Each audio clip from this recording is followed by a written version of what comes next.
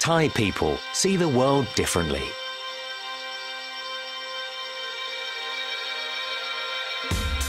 When we are shy, we smile. When we are bored, we kick. When we are stressed, we meditate. Eating is a big deal. Problems are trivial. The more we feel sad, the more playful we get.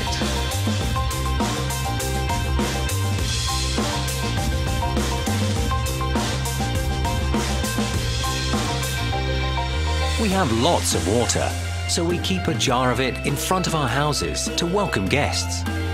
We float markets on it, throw it for festive fun, and we use it to shower elephants.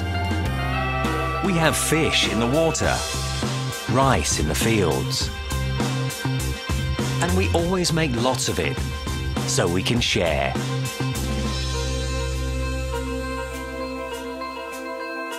We take relaxation seriously.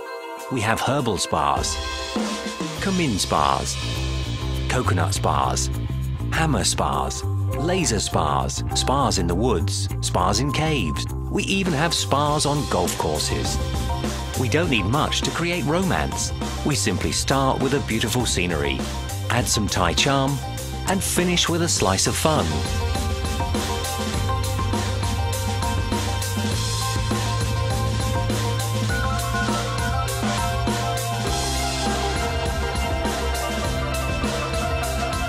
The way of Thai, our way of unique happiness. And it begins with the people.